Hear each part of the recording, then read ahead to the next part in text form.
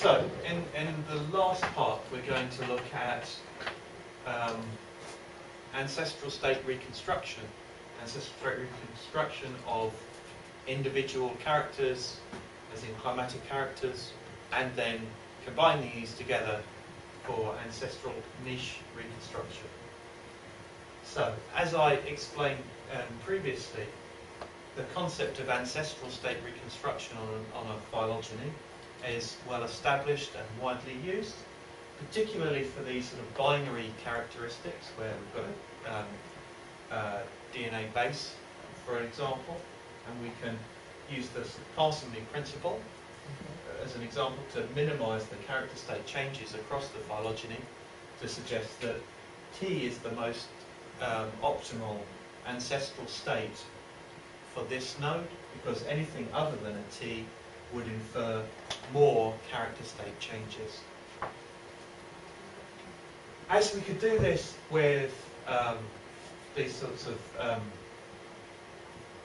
uh, it's the opposite of continuous. Um, discontinuous. Discontinuous characters. Very good. Um, we can we can do this with sort of continuous characteristics, such as environmental variables. Um, so, if we treated, say, these numbers at our terminal nodes as um, um, discontinuous characters, we'd have 2, 1, 1, then our ancestral state here would be 1.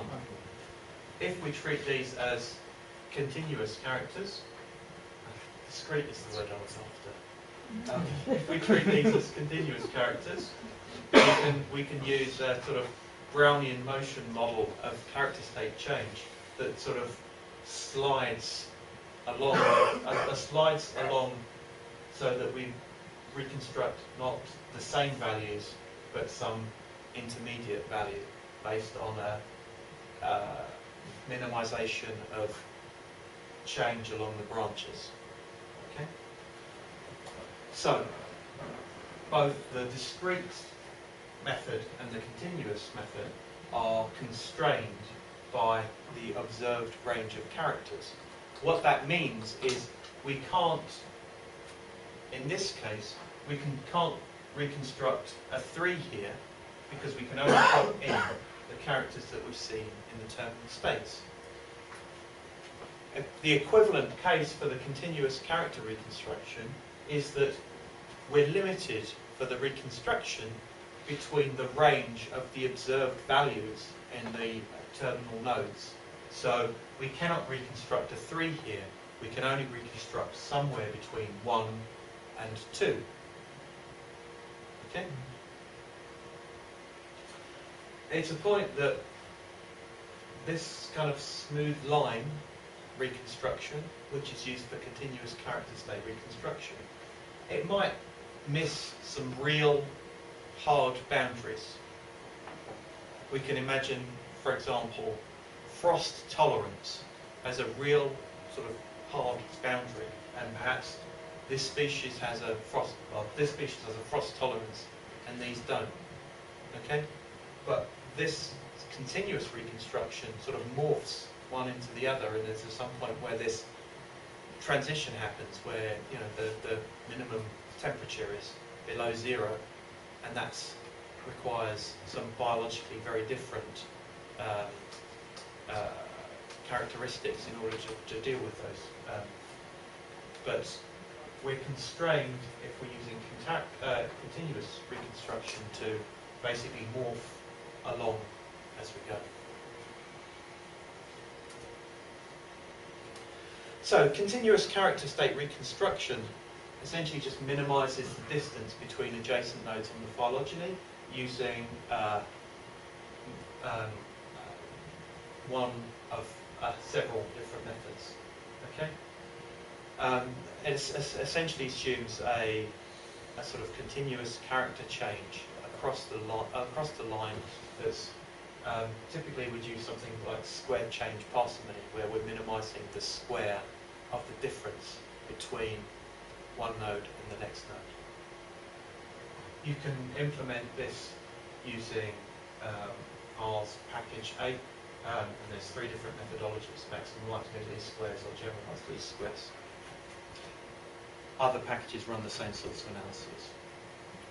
Okay, so we're going to try this ancestral state reconstruction using a really simple example of just three terminal nodes, where the values here are the observed values of temperature or precipitation or something. Okay, and again, it's just a simple, um, actually two-line analysis because we need uh, to read the tree in. We need a data set that specifies the values at the ends of the nodes, and we need the ancestral state reconstruction. Here is just plotting. So here's an example of a sort of a larger phylogeny where the colours represent, I can't remember what they represent, I think this is precipitation, some value of precipitation, where the redder, the red purple colours represent higher values and the green colours represent lower values. So we've got our uh, more um, drought tolerant species in one clade and the um, more, Hydrophilic, call that species, rain loving species in another clade. Okay, so that's an ancestral state reconstruction. So the next stage is can we combine these into ancestral niche reconstruction? So a Bioclim model is a niche model, okay, and it's defined by the minimum and maximum values of the species. So here are three points. We read off the temperature. This point is 17 degrees, this point is 16 and a half, this point is 15 and a half. Okay? So, we can then specify what areas are within the range of 15 and a half and 17 degrees, and that might give us an area on the map that says this is within the, the temperature range. Okay? So, it's a very simple model. It just says what's the minimum and the maximum values that, uh, uh, that define the temperature limits. Okay, so the idea being if we can reconstruct each of those individual variables on our phylogeny, okay, we can overlap them and create a proper Bioclim model. Okay? So the Bioclim model essentially overlaps the uh, suitable area for temperature with the suitable area for precipitation. Okay, and here's the overlap, and this is the area that's suitable for this species. Okay.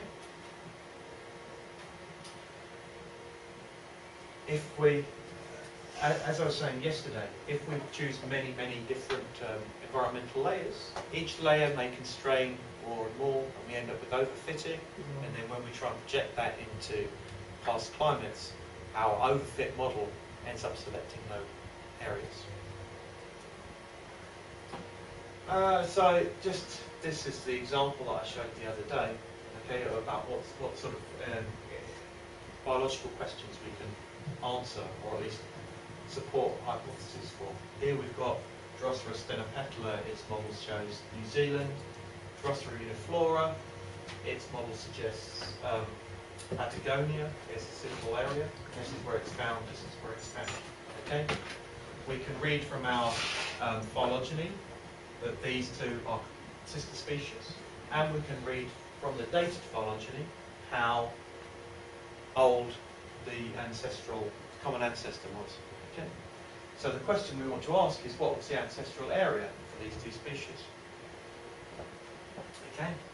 We look at the temperatures, we look at the age, we reconstruct the ancestral niche based on temperature preference. So here, the temperature preference is uh, 7.3, 7.1. Our ancestral temperature preference is 9.8. Okay? We read off the age, we project our reconstructed model into a paleoclimate reconstruction. And if everything works nicely, we get an area that selects, uh, this is the ancestral area for these two species. Okay? And it turns out that, in this case, it selects New Zealand. Okay, it's not just picking one model over the other.